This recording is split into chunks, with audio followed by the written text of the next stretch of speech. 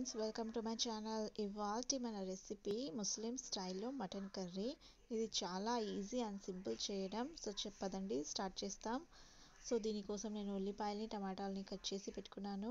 Half kilo mutton బాగా కడిగి పెట్టుకున్నాను.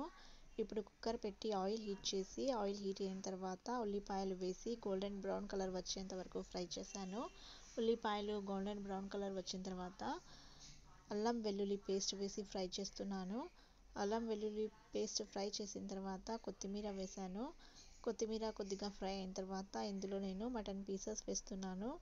సో మటన్ పీసెస్ వేసి బాగా కలుపుతూ ఫ్రై చేసుకోవాలి.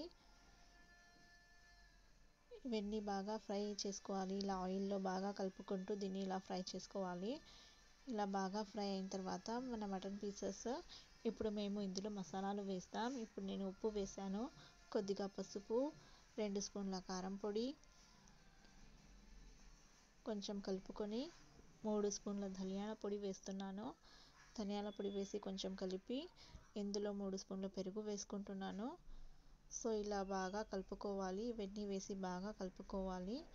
సో ఈ రెసిపీ సీక్రెట్ ఏంటంటే మీరు మసాలాలు ఎంత బాగా ఫ్రై చేస్తే ఈ కూర అంత బాగా టేస్టీగా అవుతుంది.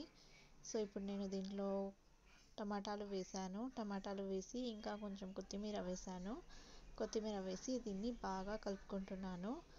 బాగా కలిపిన తర్వాత ఇందులో కొంచెం గరం మసాలా వేస్తున్నాను. గరం మసాలా వేసి బాగా ఫ్రై చేసుకుంటున్నాను.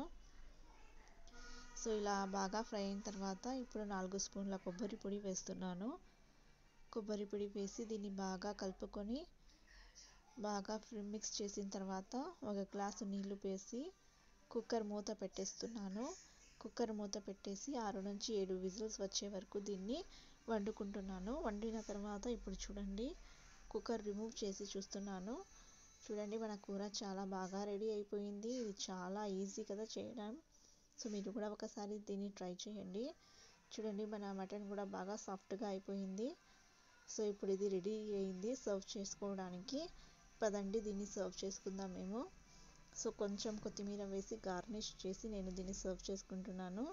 దీన్ని మీరు చపాతీలో కానీ అన్నంలో కానీ ఎంజాయ్ చేయొచ్చు.